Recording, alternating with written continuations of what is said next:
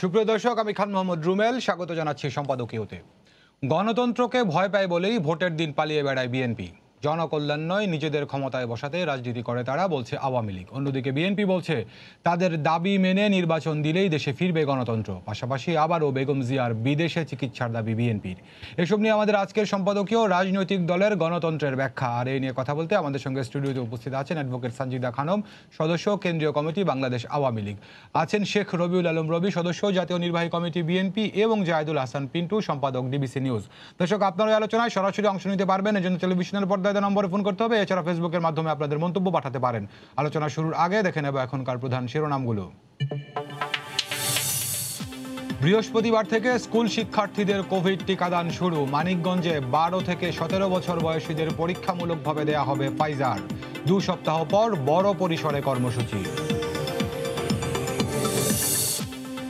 ঘূর্ণিঝড় মোকাবিলায় ব্যর্থ ছিল বিএনপি সরকার। দুর্যোগ প্রশমন দিবসের প্রধানমন্ত্রী, যতই ঝড়ঝঞ্ঝা আসুক, বাংলাদেশকে কেউ দাবিয়ে রাখতে পারবে না।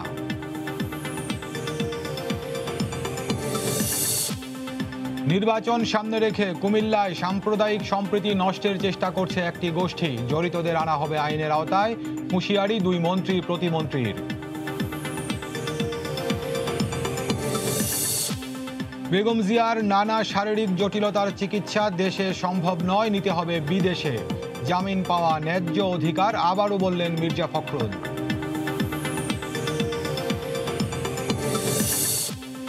এবং যানজট ছাড়াই ঢাকার যে কোনো প্রান্ত থেকে যাওয়া যাবে শাহজালাল বিমানবন্দরের থার্ড টার্মিনালে। যুক্ত হচ্ছে মাটির নিচের রেল ও সুড়ঙ্গ পথ, থাকছে এলিভেটেড এক্সপ্রেসওয়ে।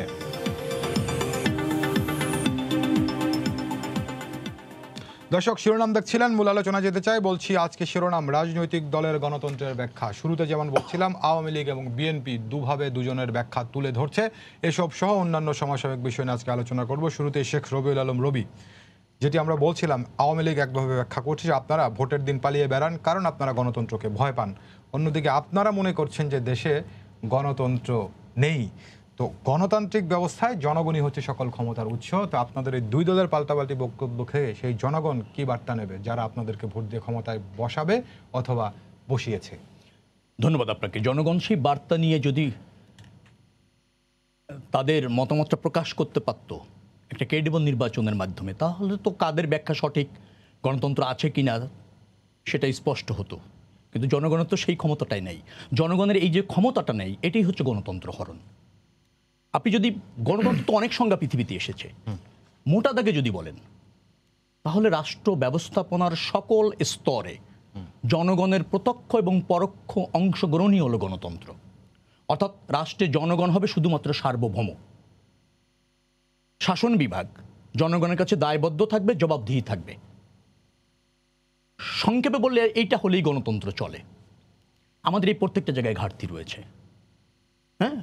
জনগণের সত্যিকার অর্থে রাষ্ট্র ব্যবস্থাপনা থেকে নিজেকে গুটিয়ে নিতে হয়েছে, অথবা রাষ্ট্রের শাসন বিভাগ যেভাবে রাষ্ট্র পরিচালনা করছে, অর্থাৎ সরকার, সেখানে জনগণের রাষ্ট্র ব্যবস্থাপনার অংশ নেওয়ার সুযোগ বন্ধ করে দেওয়া হয়েছে। এখন জনরায় একটা ব্যাপার। জনগণ যদি একটা অবাধ পরিবেশে, নিরপেক্ষ পরিবেশে তার পছন্দের প্রার্থীকে বা সরকারকে বেছে নিতে পারত তাহলে মোটামুটিভাবে বলা যেতে পারত যে রাষ্ট্র ব্যবস্থাপনায় জনগণের অংশগ্রহণ নিশ্চিত আছে। সেই জায়গাটা রুদ্ধ। যার ফলে আমরা বলছি যে ক্রেডেবল নির্বাচন এবং ক্রেডেবল নির্বাচনের যে অন্তরায়গুলি আছে, সেটি সমাধান করেই গণতন্ত্রের উত্তরণ সম্ভব। মানে মানুষকে সেই সুযোগ করে দেওয়া, তার প্রতিনিধি নির্বাচন করা এবং রাষ্ট্র ব্যবস্থাপনায় তার প্রত্যক্ষ অংশগ্রহণের সুযোগ করে দেওয়া। সেটি তো সরকারের আপত্তি রয়েছে এবং সেটা সরকার দখল করেছে। যার ফলে আমরা বলছি যে বাংলাদেশের গণতন্ত্রের সংকট রয়েছে। হ্যাঁ এখন আমাদের যদি দল হিসেবে বলেন, আমরা সহযোগিতা করতে চাচ্ছি সবসময় এটা ক্রেডিবল নির্বাচন চাচ্ছি। একটা অন্তর্বর্তীকালীন সরকার সেখানে প্রয়োজন, সবাই অনুধাবন করছে। অন্যান্য রাজনৈতিক দল করেছে, বিভিন্ন চুয়ান্ন জন নাগরিক। দেখেছেন, বিশিষ্ট নাগরিক তারা নির্বাচন কমিশনকে একটা চিঠি দিয়েছে। তারাও বলছে যে সংকট তৈরি হয়েছে। আমার বিশ্বাস সানজিদ আপা আমার সাথে দ্বিমত করবে না। হ্যাঁ এখন হয়তো বলবে যে হ্যাঁ আমরা আছি, আপনারা পারলে আন্দোলন করে হটান। কিন্তু আন্দোলন তো গণতন্ত্রের ভাষা না, সৌন্দর্য না। কিন্তু কোনো কোনো সময় যখন গণতন্ত্রের স্বাভাবিক গতি ব্যাহত হয়, তখন তো আন্দোলন জনগণকে বেছে নিতে হয়। উপায় থাকে না। এবং বাংলাদেশে অনেকবার হয়েছে তা। তো এই সংকট থেকে উত্তরণের জন্য আওয়ামী লীগও একটা প্রতিষ্ঠিত রাজনৈতিক দল। তাদেরও সুমতি হওয়া দরকার। তাদেরও মানুষের প্রতি দায়বদ্ধ থাকা দরকার। জনগণের কাছে যাওয়া দরকার, যেটা আমরা চাইছি। আমরা কিন্তু বলছি না যে অন্য কোনো পন্থা। আমরা বলছি যে জনগণ তার মানে রাষ্ট্রে তার মালিকানা ফিরে দিতে হবে। রাষ্ট্রে তার প্রত্যক্ষ পরোক্ষ অংশগ্রহণের সকল ব্যবস্থাপনায় সুযোগ করে দিতে হবে। সেই জায়গায় হয়তো ধরেন একটা আলোচনা প্রয়োজন হলে একটা সমঝোতা আলোচনার মাধ্যমে একটা ক্রেডেবল নির্বাচনের জন্য একটা দক্ষ যোগ্য এবং নিরপেক্ষ নির্বাচন কমিশন যেটা গঠন করার অতি সম্প্রতি সময় হয়ে গিয়েছে সে ব্যাপারেও সরকারের মনোযোগী হওয়া উচিত। একটা আপনাদের ভাষায় ক্রেডিবল নির্বাচন হয় না। আর ক্রেডিবল নির্বাচন হয় না বলেই কি আপনার ওয়াক ওভার দিয়ে দেন? মানে মাথা ব্যথার জন্য মাথা কেটে ফেলা? না হয় না কিন্তু অকবার কিন্তু আমরা দিতে চাইনি। আচ্ছা। এবং আমরা কিন্তু দেখেন দু হাজার আঠারোতে থাকার চেষ্টা করেছি থেকেছিও। এবং আমার বিশ্বাস মানে আপনি যে মানের সাংবাদিক আপনার দৃষ্টির গোচরে সেটা যায়নি যে কোন ধরনের একটা প্রতিকূল পরিবেশও আমরা নির্বাচনে শেষ পর্যন্ত থাকলাম। এবং এই ধরনের একটা অবৈধ নির্বাচন যেখানে জনমতের প্রতিফলন ঘটেনি তারপরেও আমরা সংসদে থাকলাম। আমরা চেয়েছিলাম যে ঠিক আছে একটা পলিটিক্যাল পার্টি প্রতিষ্ঠিত রাজনৈতিক দল আওয়ামী লীগ সে হয়তো ভুল করেছে কিন্তু তার সুমতি হবে। নিশ্চয়ই এই মুহূর্ত থেকে সে বেরিয়ে আসবে। নিশ্চয়ই জনগণের কাতারে আসবে। নিশ্চয়ই আমাদের এই যৌক্তিক দাবির প্রতি সে মনোযোগী হবে। কিন্তু আপনি দেখেন ক্ষমতার মোহ, অথবা যে প্রক্রিয়ায় ক্ষমতায় তারা আছে, সেই মজা তারা পেয়ে গিয়েছে। অর্থাৎ তারা কিন্তু আর জনগণকে ফেস করতে চাচ্ছে না। কেডিএল নির্বাচন আয়োজনও করতে চায় না, অংশ নিতে চায় না। এর থেকে বেরিয়ে আসলে পথটা সুগম হয়, সহজ হয়। আর না হলে তো গণ আন্দোলন ছাড়া আর মানুষের অধিকার প্রতিষ্ঠার বিকল্প কিছু থাকে না। জি, অনেক ধন্যবাদ। সঞ্জিদা আবার শুনছিলেন যে রবি ভাই যে ধরনের গণতন্ত্রের ব্যাখ্যা দিচ্ছে সবার কাছে তো একই ব্যাখ্যায় কিন্তু ব্যাপারটি হচ্ছে, যে যে কথা গণতন্ত্রে আছে রবি ভাই বলছেন তার সবগুলোই অনুপস্থিত। এই অংশটার সঙ্গে নিশ্চয়ই আপনি একমত নন? না আসলে তো একমত হওয়া যায় না। কারণটা হচ্ছে বিএনপির গণতন্ত্র তো বিএনপি যখন ক্ষমতায় ছিল তখন সেই শাসন ব্যবস্থাটা তো মানুষ দেখেছে। সুতরাং মানুষের কিন্তু অভিজ্ঞতা আছে যে এই জনগণের ভোট নিয়ে ছিনিমিনি খেলা এটাই কিন্তু বিএনপি। সুতরাং তাদের মুখে এই যে আমার জনগণ এবং শাসন দুটো মিলেই কিন্তু গণতন্ত্র। এবং সেই গণতন্ত্র আমি বলব যে তার ভাষায় যে কথা উনি বলেছেন অনুপস্থিত আমি বলব না এখানে অনুপস্থিত নয়। জনগণকে তারা ভয় পাচ্ছে। অর্থাৎ এই যে গণতন্ত্রের যে প্রথম শব্দটা ডেমোস হ্যাঁ এই শব্দটার মানে হচ্ছে জনগণ। তারা জনগণকে ভয় পাচ্ছে। এই শাসন ব্যবস্থা আজকে যে শুধুমাত্র গণতন্ত্র শুধু শাসন ব্যবস্থার ক্ষেত্রেই প্রযোজ্য না এটি কিন্তু রাজনৈতিক দলের ক্ষেত্রেও কিন্তু এগুলো প্রযোজ্য। আপনি বলছেন বিএনপি জনগণকে ভয় পাচ্ছে আবার বিএনপি বলছে আওয়ামী লীগ জনগণকে ভয় দেখাচ্ছে। না না না আসলে তো এই ভয় বিএনপি পাচ্ছে। ভয়ের কারণে জনগণকে ভয়ের কারণেই কিন্তু তারা বারবার এই যে এখন কিন্তু বলছে তারা যে এই সরকারের অধীনে তারা নির্বাচনে যাবেন না তাদের দল থেকে বলা হয়েছে। তার মানেটা কি? তার মানে তারা জানে যে নির্বাচনে গেলে তাদের পরাজয় অবধারিত। কারণ তাদের যে কর্মকাণ্ড সেই কর্মকাণ্ড থেকেই কিন্তু সাধারণ জনগণ মুখ ফিরিয়ে নিয়েছে তাদের দিক থেকে। সুতরাং তারা এটা তারা ধরে নিয়েছে তারা নির্বাচনে জিততে পারবে না। সুতরাং এই যে তারা তারা বলছে একটা কথা স্বীকার করেছে যে আন্দোলন গণতন্ত্রের ভাষায় হতে পারে না। আসলেই একমত। আমি আন্দোলন গণতন্ত্র মানে ভাষা হতে পারে না। ভাষা হতে পারে না, পাশাপাশি একটা কিন্তু বলছেন কিন্তু কিন্তু হ্যাঁ, হ্যাঁ, কিন্তু হচ্ছে হ্যাঁ। এই আন্দোলনের কথাটা এই যে দেখেন আজকে আওয়ামী লীগ তেরো বছর টানা ক্ষমতায়। তেরো বছর হতে চলল। এই তেরো বছরে আপনারা দেখেন একবার তারা বলেছে আন্দোলনের মাধ্যমে একবার তারা বলেছে এই এই সরকার চাই না আমরা তত্ত্বাবধায়ক সরকার চাই যেই সরকার একেবারে অ্যাপেলের ডিভিশন পর্যন্ত যেই সরকারকে বাতিল করা হয়েছে তত্ত্বাবধায়ক সরকার। সেই ব্যবস্থায় আবার তারা ফিরে যেতে চায়। অর্থাৎ তারা যে আইনকে যা তারা মানে না তারও একটা প্রমাণ হচ্ছে এটা। আর নির্বাচন কমিশনের কথা বলছেন হ্যাঁ নির্বাচন কমিশন শক্তিশালী হোক, এটা কিন্তু আওয়ামী লীগ চায়। এবং আওয়ামী লীগ চায় বলে গত, গতবার যে নির্বাচন কমিশন গঠন করা হয়েছিল, সেখানে কিন্তু সব দলকে নিয়ে, সেখানে বিএনপি পার্টিসিপেট করেছিল। বিএনপি সহ সমস্ত আওয়ামী লীগ সহ সকল রাজনৈতিক দলকে সাথে আলাপ আলোচনার মধ্য দিয়ে এই নির্বাচন কমিশন গঠন করা হয়েছিল একটা সার্চ কমিটির মাধ্যমে। সুতরাং সেইভাবেই নির্বাচন কমিশন গঠিত হবে। উনি বলেছেন বিশিষ্ট নাগরিকরা যা বলেছে হ্যাঁ এইটা বা, নির্বাচন কমিশনকে চিঠি দিয়েছে আমরাও দেখেছি পত্রপত্রিকায়। কমিশন হ্যাঁ, হ্যাঁ। সুতরাং আমরাও চাই যে নির্বাচন কমিশনটা আহ, একটা ভালো নির্বাচন কমিশন হোক। একটা ভালো নির্বাচন কমিশন হলেই কিন্তু ক্রেডিবল নির্বাচন সম্ভব। সুতরাং তারা নির্বাচন কমিশনের কথা বলে যে নির্বাচন কমিশনের সেই আজিজ মার্কা নির্বাচন কমিশন ওনারা চায় কিনা?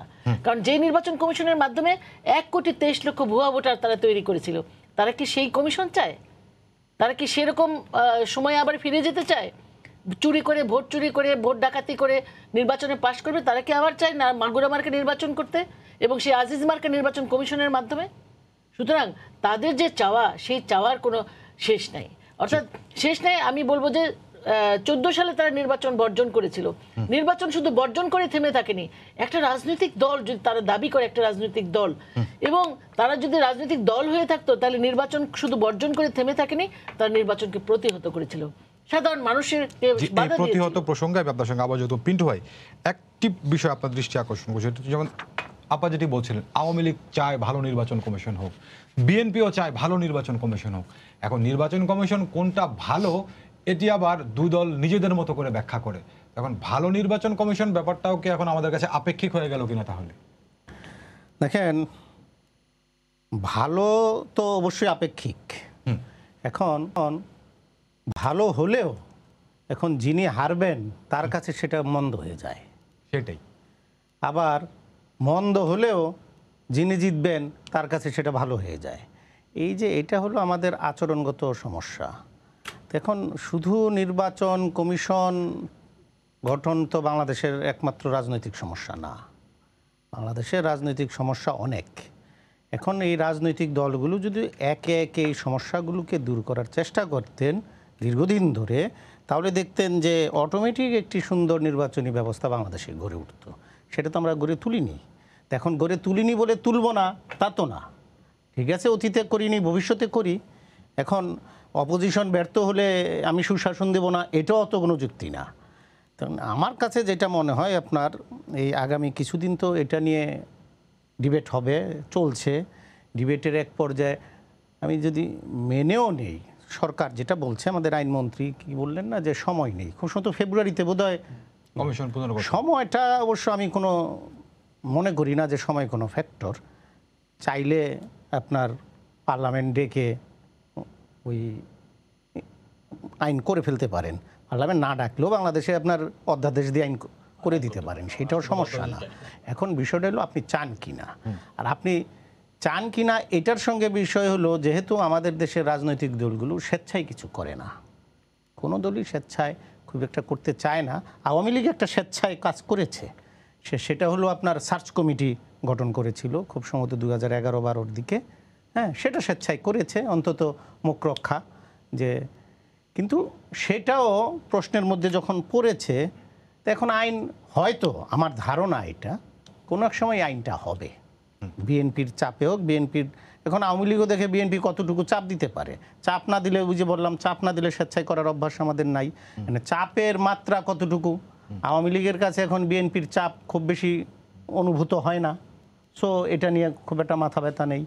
তারপরেও ধরেন নানামুখী চাপে যদি আইনটা করেনও আইনটা কীরকম হবে? এই আইন একটা সার্চ কমিটি থাকবে। ওই সার্চ কমিটির সদস্যদের যোগ্যতা অযোগ্যতা বর্ণনা থাকবে। এই সার্চ কমিটি তো ওটার মধ্যে থাকবে। কারা কমিশনার হতে পারেন যোগ্যতা অযোগ্যতা নির্ধারণ থাকবে। কত বছর পর্যন্ত তারা কত বয়সী তারা কীভাবে রিটায়ারমেন্টে যাবে নেই তো আর তাদেরকে তো সরানোর রাস্তার সংবিধানই দেওয়া আছে নাই জাস্টিসদের মতো সরাতে হবে। ঘুরে ফিরে তো আপনার ওই সার্চ কমিটিটা আইনের মধ্যে নিয়ে আসা তাই না? এরপরে যখন এই সার্চ কমিটি খুঁজে বা আইনের মধ্য দিয়ে আপনি যখন কমিশনটা গঠন করবেন সেই কমিশনের কাজ কি হবে? এখন যেই কমিশন যা- যেই কাজ আছে একই কাজ করবে। একটি অবাধ সুষ্ঠু নিরপেক্ষ অংশগ্রহণমূলক নির্বাচনের ব্যবস্থা করা তাই তো? তো সেই নির্বাচন কমিশনকে যদি আবার সরকার ঠিকমতো সহায়তা না করে এটা আমি আওয়ামী লীগ বলছি না বিএনপি বলছি না যে দলই ক্ষমতায় থাকুক হুম। তো সেখানে যদি সরকার সমর্থন না করে ওই আর সহযোগিতা না করে আপনি নির্বাচন সুষ্ঠু আশা করতে পারেন না। এই যে সঞ্জিত আপা যে এলাকায় এমপি ছিলেন না ওই এলাকায় এইটি সিক্সের নির্বাচনে আমি নিজেই দেখেছি ওই সেনাবাহিনীর গাড়িতে করে ক্যান্ডিডেট গিয়ে ভোট দখল করেছে। সরকার ওই রকম ছিল। তো এরপরেও যে আমি সেনাবাহিনীকে শাসিত সরকারকে দোষ দিয়ে দিচ্ছি এরপরে রাজনৈতিক দলগুলোও কিন্তু ওই জায়গা থেকে বের হয়ে আসে নাই। তো এখন আমি মনে করি এই জায়গায় সুষ্ঠু নির্বাচনের তো বিকল্প নাই। এখন সুষ্ঠু নির্বাচনের বিকল্প নাই, সুষ্ঠু নির্বাচন করলেন, করার পরে কি করবেন? আমি যেটা বারবার বলি, আপনার এই অনুষ্ঠানে আমি বলেছি, করার পরে, সুষ্ঠু নির্বাচন করার পরে, পরবর্তী নির্বাচনের আগে দিয়ে আবার ডিবেট শুরু করলেন। যে তত্ত্বাবধায়ক সরকার চাই, নিরপেক্ষ সরকার চাই, ওই নিরপেক্ষ সরকারকেও আপনি বিতর্কিত করে ফেললেন। এরপরে কোন সরকারের কাছে চাইবেন তো এই জিনিসগুলো আমি বারবার যেটা বলি যে গত সপ্তাহে আপনার এখানে বলেই গেছি, আলোচনা সমঝোতার বিকল্প নেই। আপনি যখনই টেবিলে বসবেন বা টেবিলে আলোচনা, সমঝোতা, আপনার সবসময় যে ওই আব্দুল মান্নান ভুইয়া বা জলিল সাহেবের মতো হতে পারে, কোনো কথা নেই। রাজনৈতিক দলগুলোর মধ্যে যোগাযোগ হয় নানানভাবে। এটা আলোচনা হতে পারে। যেটা আপনার ওই সমাধানের অনেকগুলো রাস্তা বের হয়ে যাবে, তারপরে যদি আপনি পারেন। আদারওয়াইজ আপনি এই হুঙ্কার দিবেন, ওই হুঙ্কারের অবস্থাও এখন রাজনীতিতে বিরাজ করে না। ভাঙচুর, জ্বালাও পোড়াও, পেট্রোল বোমা বলেন আর এই অকটেন বোমা বলেন, এই দিন শেষ হয়ে গেছে। এখন আপনার মানুষও আপনার সচেতন হয়েছে এই দিক দিয়ে। তো আমি মনে করি যে এই একটি গ্রহণযোগ্য নির্বাচনের জন্য যা যা করণীয় এগুলি রাজনৈতিক দলগুলিকে ওয়ে আউট বাইর করতে হবে। যদি না করেন তাহলে ওই যে আপনার পঞ্চাশ বছর পরে এসে আমরা যে আলোচনা করছি আবার পঞ্চাশ বছর পরে গিয়ে সেই আলোচনা করতে হবে এই মানুষের এই আপনার এখন আমরা যে উন্নয়নের কথা বলি বা দেখি অস্বীকার তো করা যাবে না দেশ এগিয়েছে। হ্যাঁ গতকালের আইএমএফ এর রিপোর্টও যদি দেখেন ভালো আমাদের জন্য যে ভবিষ্যৎবাণী। এটা তো আরও ভালো হইতে পারতো যদি আমরা হানাহানি মারামারি কাটাকাটি না করতাম। সেই জায়গায় বলি আমি জবাবদিহিতার কোনো বিকল্প নেই। আমাদের রাজনৈতিক দলগুলো আমরা ঘুরে ফিরে এই দুটো দলের উপরে নির্ভর করতে হয় আমাদের, করি। এখন তারা আমাদেরকে একটু সম্মান যদি দেন। জি, অনেক ধন্যবাদ কিন্তু আপনাকে। রবি ভাই, আপনার আপনার বক্তব্যের পাল্টা সঞ্জিদাবা যে বিষয়টি বলছেন যে জনগণ যদি আপনাদের সঙ্গে থাকেই, তাহলে পরে আপনারা বলেন যে আঠারোতে নির্বাচন সুষ্ঠু হয়নি বা ইত্যাদি, এর আগে পরে হয়নি। তাহলে সেই জনগণকে নিয়ে আপনারা প্রতিহত করেন না কেন? সেটা কি গণতন্ত্রের ভাষা নাকি? গণতন্ত্রের ভাষা তো তা নয়। তবে হ্যাঁ গণতান্ত্রিক ব্যবস্থাপনায় যখন জনগণের অধিকার চরম পর্যায়ে রহিত হয় তখন তো জনগণ ফুসে ওঠে এবং উঠবেও। সেটা নিয়ে এত মানে স্বস্তিতে থাকার কোনো কারণ নেই সানজিত আপার। আমাদের এত দুর্বল হবার কারণ নেই।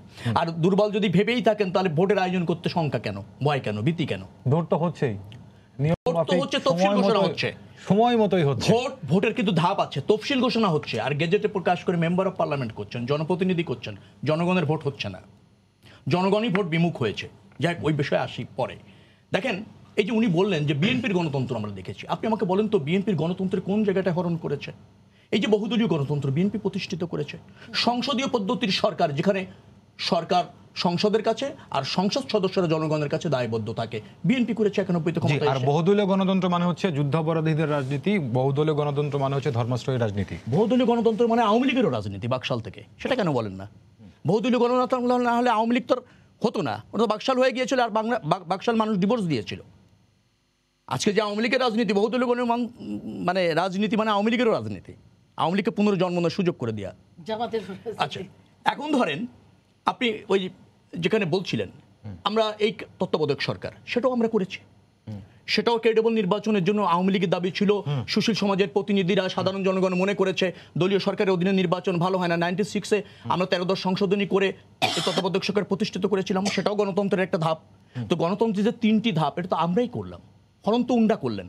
এই যে তত্ত্বাবধায়ককে বিতর্কিত আপনারাই করেছেন এটা আওয়ামী লীগ বলে। না বিতর্কিত আমরা করিনি। বিচারপতিদের বয়স বাড়ানোর দাবি ছিল বা বাড়ানো হয়েছে তারপরও আমি দায়িত্ব নিয়ে বলছি সেটা না বাড়ালেও ভালো হতো। আচ্ছা এটা গেল বিচারপতিদের আম- আম- বয়স বাড়ানো আমাকে শেষ একটা, করতে না, না, দেবেন, রবি ভাই আর বলবেন আপনি এটা গেল একটা। আবার একটা হচ্ছে অনেকগুলো অপশন থাকার পরেও সেগুলোকে কোনোটাকে প্র্যাকটিস না করে সরাসরি রাষ্ট্রপতিকে তত্ত্বাবধায়ক সরকার প্রধান করে দেয়া এটিও তো একটি ধাপ। রাষ্ট্রপতিকে তত্ত্বাবধায়ক সরকারের প্রধান যে করা হয়েছিল সেটাই সংবিধান সম্মত এখন আপনি বলছেন আগের অপশনগুলো? বলি সংবিধান অনুসারে সবচেয়ে ভালো হতো কে এম হাসান? যদি শপথ নিত। উনটা আপত্তি জানালেন উনি নিজেই নিলেন না। সেকেন্ড অপশন কি হয়েছে আমরা কেউ কিন্তু স্পষ্টভাবে জানি না। রাষ্ট্রপতি পদক্ষেপ নিয়েছিলেন তখন যখন ওই প্রক্রিয়া কিন্তু রাষ্ট্রপতি পদক্ষেপ না তিনি বলেছেন অপারগতা প্রকাশ করেছে। সেকেন্ড অপশনও তাই। থার্ড অপশনও তাই। ফোর্থ অপশনে গিয়ে রাষ্ট্রপতি নিয়েছেন। রাষ্ট্রপতি যেটা নিয়েছেন রবিন মনে রাখবেন এটা কিন্তু সাংবিধানিক প্রক্রিয়া। পরবর্তীতে ইমার্জেন্সি জারি করে ফখরুদ্দিন মহিউদ্দিন যেটা হয়েছে সেটা কিন্তু অসাংবিধানিক প্রক্রিয়া। আর আজিজ কমিশনের কথা বললেন আমি একটু বলি আজিজ কমিশন কিন্তু উন্ডা মানেননি এবং আজিজ কমিশন কোনো নির্বাচন করতে পারেনি। আপনি জানেন তিনি কিন্তু অ্যাপিলিয়েট বিভাগের একজন বিচারপতি ছিলেন তার কিন্তু বর্ণাঢ্য ক্যারিয়ার ছিল। এই যে ভুয়া ভোটারের কথা উনি বলেন আজিজ কমিশন কোনো ভোটার লিস্ট করতে পেরেছিল?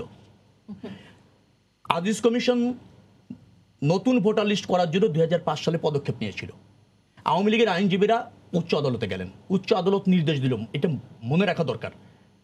যে নতুন করে ভোটার লিস্ট করা যাবে না, শুধুমাত্র সংযোজন বিয়োজন করা যাবে। এখন পাঁচ বছরে লাস্ট ভোটার তালিকা হয়েছিল দুই হাজার সালে আওয়ামী লীগের আমলে। দুই হাজার পাঁচে আপনি করতে দিলেন না। এই পাঁচ বছরে দ্বৈত ভোটার, এক ব্যক্তি তিন জায়গা ভোটার হয়ে যে এই দ্বৈত ভোটারের সংখ্যা বেড়ে গিয়েছিল। পরবর্তীতে যখন তত্ত্বাবধায়ক সরকার এসে অনির্বাচিত সরকার এসে ফ্রেশ ভোটার লিস্ট করল, তখন এই ভোটারটা কমে যায়। এটা তো ভুয়া ভোটার না।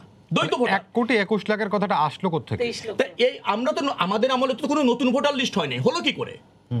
এই যে আপনি যে সংযোজন বিয়োজন করবেন আওয়ামী বলে করতে দেওয়া হয়নি আপনারা উদ্যোগ নিয়েছিলেন হ্যাঁ। সংযোজন বিয়োজন করার যে আদেশটা আদালত দিল সেই আদেশটা বাস্তবসম্মত ছিল না।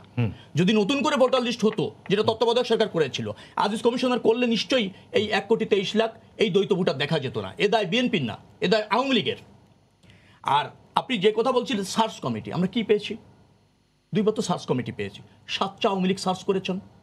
আমি অনুগত আদেশ নির্দেশ মেনে কাজ করবে। এবং সাতটা সার্চ কমিটি করে আমরা রকিবউদ্দিন পেয়েছি কেম নুরুল হুদা পেয়েছি।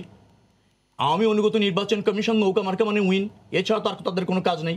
একটু ক্রেডেবল নির্বাচন করতে পারিনি। কোনো একটা নির্বাচনে এত বড় অনিয়মের পর একজন লোক গ্রেপ্তার হয়নি। রাতে ভোট হয়েছে নির্বাচন কমিশন জানে না। নির্বাচন কমিশনের ফলাফলের ভিতর শতভাগ ভোট। এটাকে নির্বাচন কমিশন বলবেন না আওয়ামী লীগের ভাতৃপ্রতিম সংগঠন বলবেন? এটা আওয়ামী লীগের ভাতৃপ্রতিম সংগঠন। ওই যে বললেন, পিন্টু একটা ভালো কথা বলছিলেন যে চাপ না থাকলে তো আওয়ামী লীগ এভাবে চলবে। এখন গণতন্ত্র কি চাপ নাকি প্রক্রিয়া? এটা প্রক্রিয়া। হ্যাঁ প্রক্রিয়াটা যখন আপনার ইচ্যুত হয় টাকচ্যুত হয়, তখন চাপের প্রয়োজন হয়। আমরা ক্রমাগতভাবে সেই চাপটা দিচ্ছি। এবং আমাদের প্রত্যেকটা দাবি রমের আপনি দেখবেন যে আমরা ক্রেডেবল নির্বাচনের কথা বলছি, আমরা রাজনৈতিক সহাবস্থানের কথা বলছি, প্রতিযোগিতাপূর্ণ রাজনীতির কথা বলছি। আমরা কিন্তু ক্ষমতা দখলকে উৎসাহিত করছি না এবং আলোচনার মাধ্যমে সবাই ভোট দিতে পারে সব রাজনৈতিক দল সুযোগ পায় উৎসব মুখর পরিবেশে ভোটাররা গিয়ে তার পছন্দের প্রার্থীকে ভোট দিক এই পরিবেশ চাচ্ছে। এটা কি অমূলক? জি, এটা কি গণতন্ত্র নয়। এই যে স্যাক্রিফাইসটা আমরা করছি যে দাবি করছি আন্দোলন করছি সংগ্রাম করছি জেল খাটছি মামলা ফেস করছি কিসের জন্য? আপনাদের অধিকার প্রতিষ্ঠিত করবে অনেক ধন্যবাদ। আপনার ফোন নিয়ে আমি আপা আপনার সঙ্গে যুক্ত হচ্ছি। দর্শক আপনার নাম বলে প্রশ্ন করুন। আমি আব্দুল ওয়াহাব মন্ডল রাজবাড়ী বালিয়াকান্দি থেকে বলছিলাম। জি বলুন। আমি শেখ শেখ রবিউল ইসলাম রবি ভাইয়ের কাছে প্রশ্ন রাখতে চাই। যে লোকাল নির্বাচন ইউনিয়ন পরিষদের নির্বাচনগুলো বর্জন করে ওনারা কি গণতন্ত্র আন্দোলনে সফল হতে পারবেন? জি অনেক ধন্যবাদ আপনাকে প্রশ্ন উত্তর নেওয়ার চেষ্টা করব। তার আগে সঞ্জিদা আপা, আপনি শুনছেন যে আমাদের রবি ভাই বলছেন যে এক কোটি একুশ লাখ আপনি বলছেন তেইশ লাখ সে কোনো ভুয়া ভোটার তারা করেননি। এক আর তারা শুধুমাত্র গণতান্ত্রিক প্রক্রিয়াটাকে সমুন্নত রাখার জন্যই কাজ করে যাচ্ছেন গত তেরো বছর ধরে। আপনারা কান দিচ্ছেন না। ওনার প্রথম কথাটাই আমি উত্তরটা দিয়ে নিই। উনি বলেছেন জনগণ ফুসে উঠবে বা উঠছে উনি বলেছেন। জনগণ আসলে ফুসে উঠবে না। ওঠেও নি কারণ জনগণ কখন ফুসে ওঠে? জনগণ কখন ফুসে ওঠে এটা এটা চিন্তা করতে হবে। আপনারা দুই হাজার এক সাল থেকে দুই হাজার ছয় সাল পাঁচ সাল পর্যন্ত ছয় সাল পর্যন্ত আপনারা যেই রাষ্ট্রের রাজত্ব কায়েম করেছিলেন সমস্ত বাংলাদেশকে একটা জঙ্গিবাদের রাষ্ট্রে পরিণত করেছিলেন, হাজার হাজার কোটি টাকা বিদেশে পাচার করেছিলেন, বারবার দুর্নীতিতে চ্যাম্পিয়ন হয়েছিলেন, বিদ্যুৎ দিতে পারেননি, খাম্বা দিয়েছিলেন, হাওয়া ভবন তৈরি করেছিলেন, খাওয়া ভবন তৈরি করেছিলেন, এসব কারণেই জনগণ ফুসে উঠেছিল। দ্রব্যমূল্যের মা- দাম বৃদ্ধি পেয়েছিল দুশো টাকা কেজি আমরা কাঁচামরিচ খেয়েছি। এটা কিন্তু কাঁচামরিচের জাল এখনও এখনও ভুলে যায় না। এখনও 200 ভুলে টাকা। তেলের দাম প্রতিদিনই বাড়ছে, পেঁয়াজের দাম আকাশ ছুঁয়েছে। তাদের যে তাদের যে আহ, কর্মকাণ্ড ওই বা তাদের ক্ষমতায় থাকতে তখন জনগণ ফুসে উঠেছিল। এবং আহ, তাদের এই কর্মকাণ্ডের জবাবটা জনগণ দিয়ে দিয়েছে। আমি বলব যে জনগণ এখন আর ফুসে উঠবে না। আমি জোর দিয়ে বলছি ফুসে আচ্ছা, উঠবে না। এই কথাটাই রবি ভাই মনে এটাই বলার চেষ্টা করছেন? আহ, ব্যাখ্যা দিবেন? রবি ভাই মনে এটাই বলছে আপনি যদি বলছেন তাদের কর্মকাণ্ডের জবাব জনগণ দিয়ে দিয়েছে। রবি ভাই এটাই বলছেন যে এখন আপনাদের কর্মকাণ্ডের জবাব দেওয়ার সুযোগ জনগণ পাচ্ছে না। রবি ভাই এই কথাটাই বারবার বলছেন না আমি আমি সেটাই বলছি। সেটা হচ্ছে জনগণ ফুসে উঠবে না এই জন্যই ব্যাখ্যাটা আমি দিয়ে নিই। সেটা হচ্ছে যে জনগণ কেন ফুসে উঠবে? আজকে সাধারণ মানুষের যে মৌলিক অধিকার আপনার ভোট ভাত আপনার স্বাস্থ্য চিকিৎসা তারপরে আপনার শিক্ষা এই যে মানুষের সাংবিধানিক মৌলিক অধিকারগুলি এইগুলি কি কীভাবে আছে? আপনাকে দেখতে হবে। আমাদের দেখেন যে আজকের রিপোর্টে আপনি আইএমএফ কি বলেছে? এই করোনাকালীন সময়েও এই এত বাধা বিপত্তির মধ্য দিয়েও এত সারা বিশ্বে যখন অর্থনৈতিক মন্দা চলছে। এবং আহ, অর্থনীতির অবস্থা খুবই খারাপ সারা সারা বিশ্বে উন্নত বি- বিশ্ব সহ সেখানে বাংলাদেশে কিন্তু এ- এবছরে কিন্তু আমাদের আহ, আমাদের আহ, সম্ভাবনা দেখেছে আইএমএফ আরও অনেক ভালো। এই ক্ষেত্রে পিন্টু ভাই বলছিলেন যদি হানাহানি না থাকতো তাহলে আরও ভালো আরও ভালো হতো আরও ভালো হতো। আরও অনেক ভালো হতো। আমি রবি ভাই আমি বলব যে আমি আমি যে কথাটা বলতে চাই ওনার তত্ত্বাবধায়ক সরকারের কথা বলেছেন। প্রশ্নবিদ্ধকে কারা করেছিল? প্রশ্নবিদ্ধ তো তারাই করেছিল তত্ত্বাবধায়ক সরকারকে। শুধু বিচারপতিদের বয়স শুধু বাড়ানো না ওনারা যে যেই ফখরুদ্দিন মঈনুদ্দিনের সরকারের কথা বলেন মঈন আহমেদকে নয় জনকে ডিঙিয়ে সেদার সেনা প্রধান কে করেছিলেন? বেগম খালেদা জিয়া করেছিলেন। সেনা প্রধান কে করেছিলেন? বেগম খালেদা জিয়া। এই আপনার ফখরুদ্দিনকে কে বানিয়েছিলেন? বেগম খালেদা জিয়া।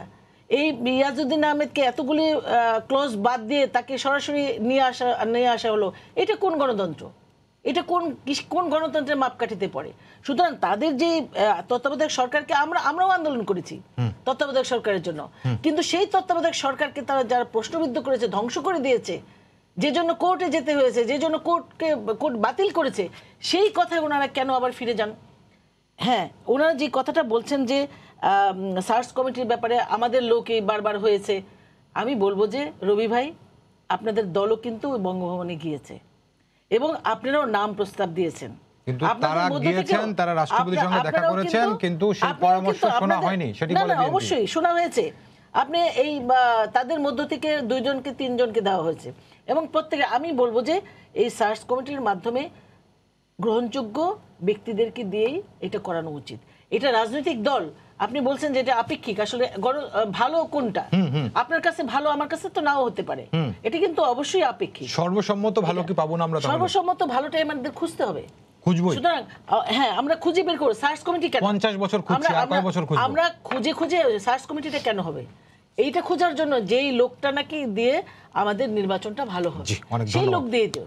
সুতরাং তারা যেই কথাটা বলছে তাদের মনের মতো হলে এবং তাদের নৌ মানে নির্বাচন ছাড়াই তাদেরকে ক্ষমতায় নিয়ে দেওয়া বসাই দেবে আজিজ মার্কা নির্বাচন, আজিজ কমিশনের মতো।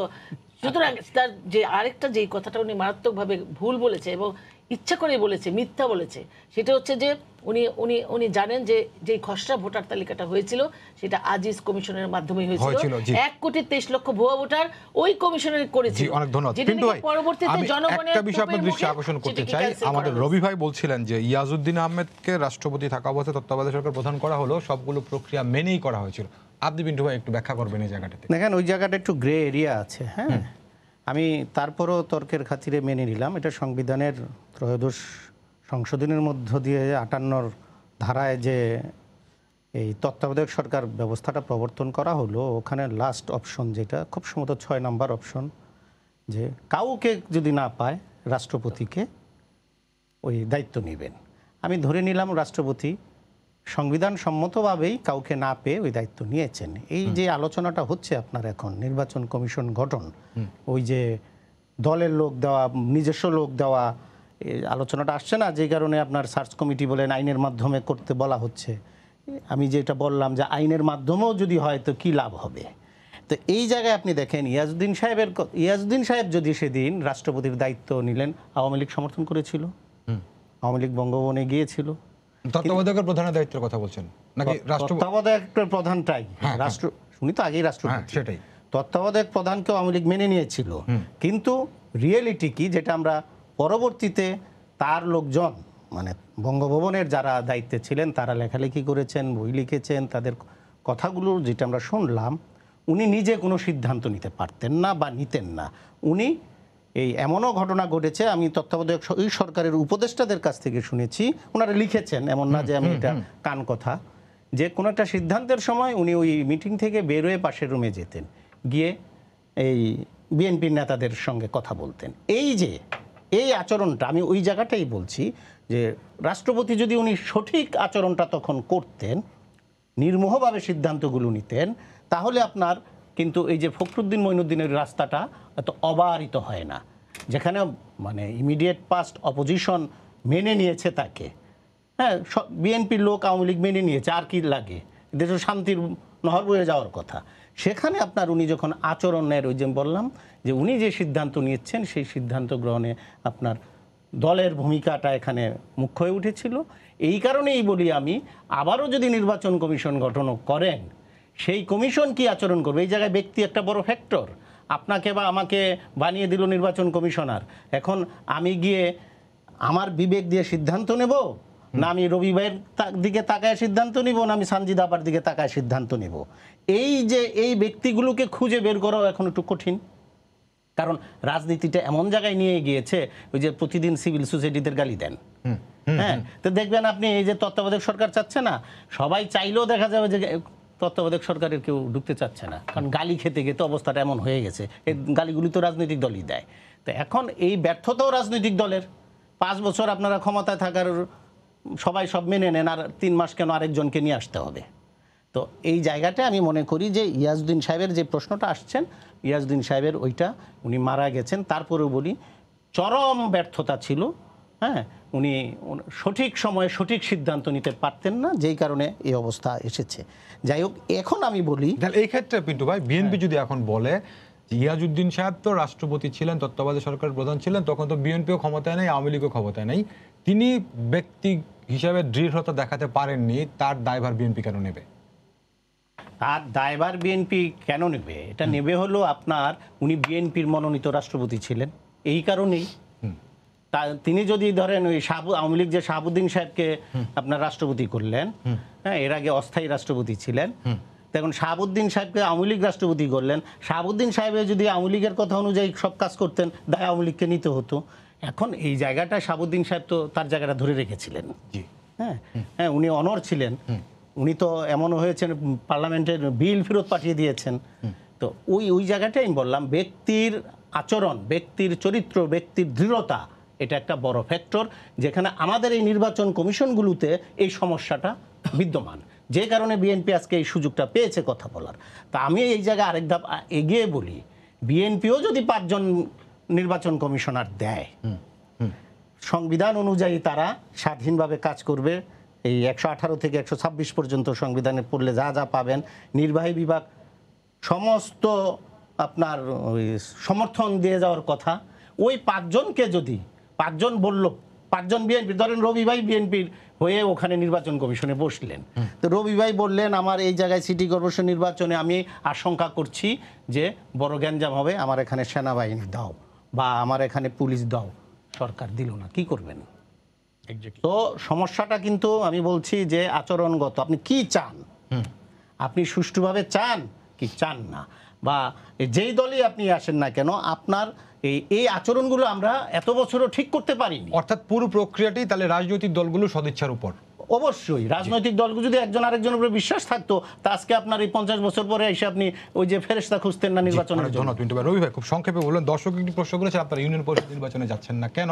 গণমাধ্যমে আমরা দেখছি তৃতীয় ধাপের ইউনিয়ন পরিষদ নির্বাচনে আপনাদের দলের অনেকেই অর্থাৎ দলীয়ভাবে মনোনীত নয় কিন্তু ব্যক্তিগতভাবে সন্ততভাবে অংশ নিচ্ছে বিএনপি তাদের বিরুদ্ধে ব্যবস্থা নেবে না।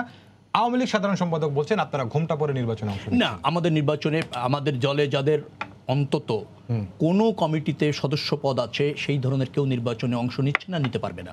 আমরা যেহেতু এক ব্যাগকে বলতে হবে সময় কম। জনগণের ভোট দেওয়ার যেহেতু সুযোগ নেই সেই নির্বাচনে রাজনৈতিক দল হিসেবে বিএনপির অংশগ্রহণের সুযোগ নেই। নির্বাচন বর্জন করে কি অর্জন করবেন আপনারা? নির্বাচন বর্জন করে জনগণ যাতে নির্বাচন অংশ নিতে পারে সেই পরিবেশ তৈরি করার চাপ এবং আন্দোলন একসাথে একই সূত্রে কথা এটি একটি একটার সাথে সম্পৃক্ত। অতএব ওই নির্বাচনে শুধুমাত্র তফসিল ঘোষণা করে জনপ্রতিনিধি নির্বাচনে থেকে বিএনপি এই দায় নিতে চায় না। মানুষের ভোটাধিকার হরণের দায় নিতে চায় না। ভোটাধিকার প্রতিষ্ঠা করবার সংগ্রামে লিপ্ত থাকতে চায় এবং তার অংশ হিসেবে বর্জন। ওই আরেকটা কথা বলি ইয়া, ভালো বলছিলেন পিন্টু ভাই আমি সম্পূর্ণ একমত। দেখেন ইয়াজউদ্দিনের অধীনে একটা নির্বাচন হতে চলেছিল বাইশে জানুয়ারি আওয়ামী লীগ তাতেও অংশ নিল না। তাই তো? ধরে নেন তত্ত্বাবধায়ক সরকারের ওই জায়গাটা। কেন নিল না? সেই প্রেক্ষাপটটা তো পিন্টু ভাই বলেছেন। কেন নিল না? মানে বিজয় নিশ্চিত না? ইয়াজউদ্দিনের কাছে তারা স্বস্তি পেল না। রাষ্ট্রপতি তখন পাশের রুমে যে বিএনপি নেতার সঙ্গে কথা বলেন সেই জন্য উনি এরকম। শুনেছেন। বিএনপি নেতার সাথে কথা বলেছে। রাষ্ট্রপতি তো আওয়ামী লীগের নেতার সাথে কথা বলেছে। কিন্তু সবার সবই তো সাংবাদিকরা শুনব না, আমরা সব জায়গায় আপনি উপস্থিত থাকব? শুনবেন কথা কথা বলেছে। কথা বলেছে মানে নির্বাচন প্রক্রিয়া ধ্বংস হয়ে গিয়েছে। ধরে নিচ্ছে আমি কথা বলেছে।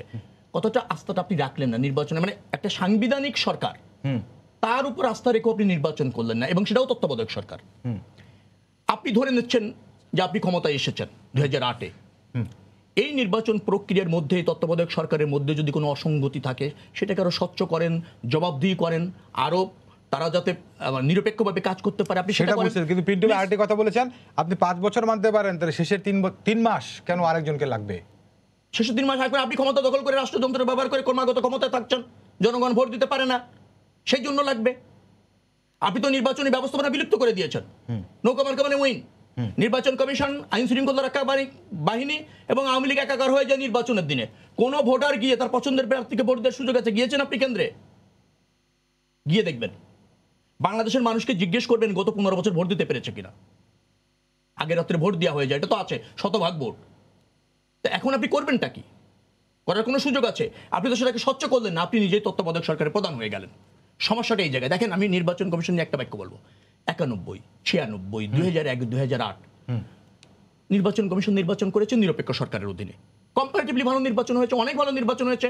ক্ষমতার পরিবর্তন হয়েছে পার্লামেন্ট বসেছে আপনার সরকার চলেছে বিরোধী দল গিয়েছে জনগণ স্যাটিসফাইড উৎসব মুখর পরিবেশে ভোট হয়েছে। হয়েছে না? তখন কিন্তু নির্বাচন কমিশনের নিয়ে প্রশ্ন উঠিনি। কারণ তারা কাজ করেছে নিরপেক্ষ সরকারের অধীনে। অর্থাৎ নিরপেক্ষ একটা সরকার ছাড়া বাংলাদেশের রাজনৈতিক দল ক্ষমতা যেভাবে লোভী হয়েছে আওয়ামী লীগ আর অন্য রাজনৈতিক দলের যেভাবে অবিশ্বাস হয়েছে আওয়ামী লীগের প্রতি এবং যেটা দেখছে যেভাবে মানুষের ভোটাধিকার হরণ হয়েছে সেখানে কিন্তু ক্রেডিবল অনেক নির্বাচন সম্ভব না। নিরপেক্ষ সরকার ছাড়া। কোনো সমাধান দেখছেন না রবি ভাই। না, নির্বাচনে আপনার এই তত্ত্বাবধায়ক সরকার বা নিরপেক্ষ সরকার আসার কোনো মানে কোনো রকমের কোনো সুযোগ নেই আমি বলব। তাদের নির্বাচন করতে হবে যদি তারা আহ, নিজেদের প্রতি বিশ্বাস রাখে তাদের নিজেদের প্রতি সরকারের কোনো সুযোগ নেই সংবিধানে নেই আপনার সাথে এই পর্যন্ত শুনে তাহলে বিএনপি যে অভিযোগগুলো করে সেগুলো কি একেবারে আমলে নেবেন না আপনারা? আমি বলছি যে বিএনপি তো অযৌক্তিক যে দাবিগুলি তাদের। উনি বলছেন কি পনেরো বছর ধরে মানুষ ভোট দিতে পারেনি। নবম সংসদ নির্বাচনে আপনারা ভুলে যায়নি তো নবম সংসদ নির্বাচনে বিএনপি তিরিশ বত্রিশটা সিট পেয়েছিল। তাই না? বেগম খালেদা জিয়া বিরোধী দলের নেতা ছিলেন। ওই সংসদে আমারও থাকার সৌভাগ্য হয়েছিল। সেই নির্বাচনটাকে উনি বলছেন নির্বাচন হয়নি ভোট দিতে পারেনি। তাহলে বিনা ভোটে কি উনি বিরোধী দলের নেতা ছিলেন? বেগম খালেদা জিয়া তার দলের প্রধান? না উনি আট পর্যন্ত আবার ভালো বলেছেন। না না উনি বলেছেন পনেরো বছর ধরে ভোট দিতে পারে না। উনি বলেছেন পনেরো বছর ধরে ভোট আচ্ছা, দিতে পারে না। তেরো বছর না না আমি পনেরোই বলেছি আমি পনেরো 2008 বলেছে। ধরেই বলেছি। সুতরাং যে সরকারটা আবার এটাও তো বলেছিলেন তাহলে আটে ভালো নির্বাচন হয়েছে। না না আমি বলেছি তারপরও নিরপেক্ষ সরকারের অধীনে নির্বাচন হয়েছে। আসলে এগুলি অনিয়ম ছিল ওই সরকার আতাত করে আওয়ামী লীগকে ক্ষমতায় এনেছে কিন্তু তারপরও আমি বলব যে সেই নির্বাচন যেহেতু নিরপেক্ষ সরকারের অধীনে আমি ভালোই আমি যে কথাটা বলছি এটাই আসলে সত্য। বিএনপি আসলে রবি ভাইরা বিচারটা মানবে কিন্তু তাল গাছটা তাকে তার চাই। কিন্তু তাল গাছ তো আপনারা দাবি। বিচার যদি মানে বিচার যদি মানে তাহলে তার তো নির্বাচনে আসতে হবে। নির্বাচনে জনগণ তাদেরকে ভোট দিতে হবে। আসলে তাদের নিজেদের প্রতি কিন্তু বিশ্বাসটা তাদের নেই। মানে রাজনৈতিক দলের প্রতি বিশ্বাস তো দূরে থাক আওয়ামী লীগের প্রতি বিশ্বাস তো দূরে থাক তাদের নিজেদের প্রতি কিন্তু বিশ্বাসটা নেই তারা হারিয়ে ফেলেছে। কারণ তাদের যে কর্মকাণ্ড এই কর্মকাণ্ডের জবাব কিন্তু জনগণ দেবেই। সুতরাং তারা এই এই যে রুট লেভেলে একজন দর্শক প্রশ্ন করেছেন। প্রশ্নটা কিন্তু খুব ইম্পর্টেন্ট একটা প্রশ্ন। লোকাল গভর্নমেন্ট নির্বাচনে স্থানীয় সরকার নির্বাচনে তারা যাচ্ছে না। অর্থাৎ স্থানীয় সরকার নির্বাচনটা এরকম এটি কিন্তু দলীয় মার্কায় ঠিক আছে নির্বাচন করে তারা বলছে যে গেলে পরাজয় নিশ্চিত সেই সঙ্গে কিছু হামলা কিছু মামলাও নিশ্চিত সেজন্য যাচ্ছে না, পরাজয় নিশ্চিত এই আমি বলিনি। আপনি বছর আমার কথা যতগুলি মনে হয় ই করেছেন, আহ, স্থানীয় সরকার নির্বাচনে যতগুলি হয়েছে এই 13 বছরে টানা 13 বছরে যতগুলি এই সরকারের অধীনে স্থানীয় সরকার যতগুলি নির্বাচন হয়েছে প্রায় সাত হাজারের উপরে নির্বাচন হয়েছে। এই নির্বাচনে বহু নির্বাচনে এই বিএনপি জিতেছে। চট্টগ্রাম সিটি কর্পোরেশনের কথা আপনারা জানেন। আপনারা জানেন ওই বা, গাজীপুরেও কিন্তু জিতেছে তারা। সেটি তারা বলে যে সেই- চোদ্দ সেগুলি- নির্বাচনের আগে পর্যন্ত চোদ্দোর পরের চিত্র আলাদা ওইটাই তো কাল হয়েছে। আপনি ওইটাই তো বুঝেছেন আপনি দেখেন সিটি কর্পোরেশন নির্বাচন এগুলি কখন হয়েছিল? এই সরকারের সময় কিন্তু চারটা সিটি কর্পোরেশন তারা জিতেছিল। তাহলে কি 14 সেগুলি ভোট নির্বাচনের দেয়নি? আগে চারটা না পাঁচটা জিতেছিল গাজীপুর সহ। হ্যাঁ। সুতরাং এই যে তাদের যে কথা না ওই আপনার চট্টগ্রামে কিন্তু তার মানে চট্টগ্রামে কিন্তু তারা কিন্তু চোদ্দ চোদ্দোর পরে হয়েছিল। সুতরাং এই যে তারা চ- নির্বাচনগুলিতে জিতেছিল এই স্থানীয় সরকার নির্বাচনে সেইগুলো তাহলে তারা ভোটে জিতেনি আমি যদি বলে এটা তর্কের খাতিরে সুতরাং এই সমস্ত মানে ভাওতাবাজি বা ওই আন্দোলনের কথা বলে পানি ঘোলা করে ক্ষমতায় আসার কোনো সুযোগ বিএনপি পাবে না। জনগণ তাদের প্রত্যাখ্যান করেছে আগামী নির্বাচনেও আমার বিশ্বাস আপনাদের তিনজনকে অনেক ধন্যবাদ। দর্শক আপনাদের সবাইকে ধন্যবাদ জানিয়ে শেষ করছি আজকে সম্পাদকে আগামীকাল আবারও দেখা করার দশটা দেখার আমন্ত্রণ রইল। শুভরাত্রি।